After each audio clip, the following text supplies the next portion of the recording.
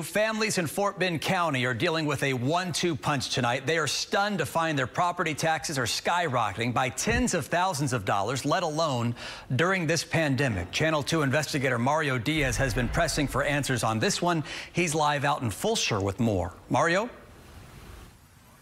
Chris, residents around this area feel as if their homes have suddenly gone somewhat underwater because the county came in, appraised the value of their home at a much higher rate, they say, which translates to higher property taxes. People would be buying up real estate left and right if they thought that their home was going to increase by 10% in terms of market value in, in one year. It just doesn't happen. Doug Freer is a realtor. When it comes to property taxes, he says they do not normally go up by 10% in one year. But in parts of Fort Bend County, they have. For Maria Lacasio, that means. I went up $37,590. Her immediate reaction to the costly increase? I was like, holy what's the deal? This is this has got to be wrong. Lacasio lives and sells homes in Cross Creek Ranch in Fulshear. The development is picturesque and also 10% price here, according to the Fort Bend County Central Appraisal District.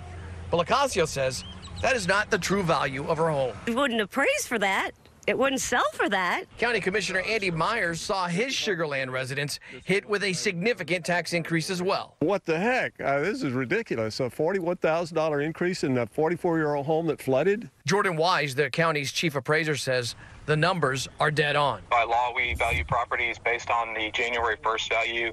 And at that time, the real estate market across the county, um, as well as in Fulshear, was robust. We were seeing um, a lot of sales activity and we feel like the values are accurate. Meyers is concerned that many are facing tough times already as a result of COVID-19. They have people, so many people unemployed, they cannot only they can't afford their mortgage, and now we're going to increase their taxes. That just doesn't make any sense.